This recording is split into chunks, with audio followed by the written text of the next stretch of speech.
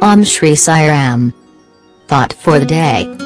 Lord Krishna indicated the qualities one should possess to enable them to earn the love of the Lord. In Bhagavad Gita, Krishna declared, desirelessness, anapeksha, as the first important quality. All sensual pleasures are ephemeral. But most people are content with sensual pleasures. Greater than the sensual is the transcendental path, Shreyo Marga, which confers lasting bliss.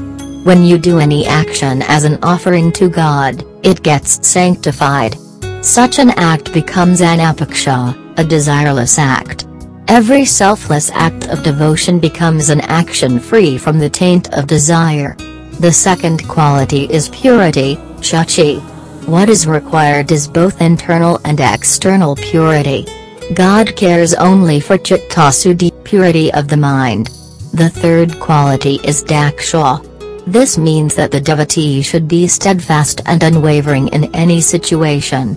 With their mind firmly rooted in God, they should engage themselves in service of others and perform actions in a spirit of detachment. Divine Discourse, October 3, 1996. Baba.